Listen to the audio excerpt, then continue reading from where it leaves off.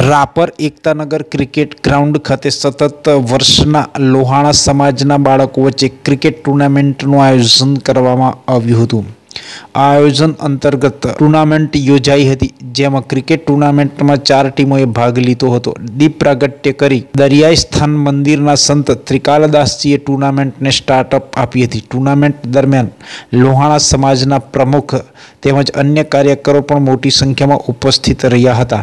લોહાણા સમાજના જુદા જુદા દાતાઓ દ્વારા ઇનામ આપવામાં આવ્યું હતું.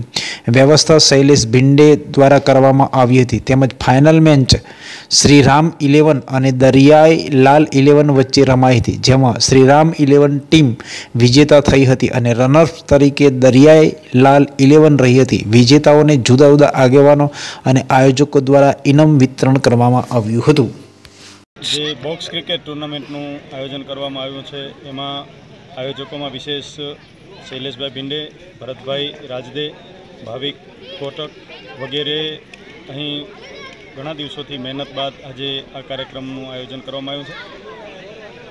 રાપર લોહાણા સમાજ દ્વારા ઘણા બધા કાર્યો થઈ રહ્યા છે અને એમાંના બહુ સત્તરથી અઢાર વર્ષ સુધીના બાળકો માટે જે ક્રિકેટ ટુર્નામેન્ટનું આયોજન કરવામાં આવ્યું છે, સ્તુત્ય છે, અનુકરણીય છે અને વર્તમાન કોરોનાના આ રૂપ જેવા સમયમાં આ એક સધિયારો છે અને એક આધાર છે જેમાં બાળ માનસ અને પુખ્ત વયના લોકો માટે પણ એક આનંદ અને મનોરંજનનું શ્રેષ્ઠ માધ્યમ બની રહેશે.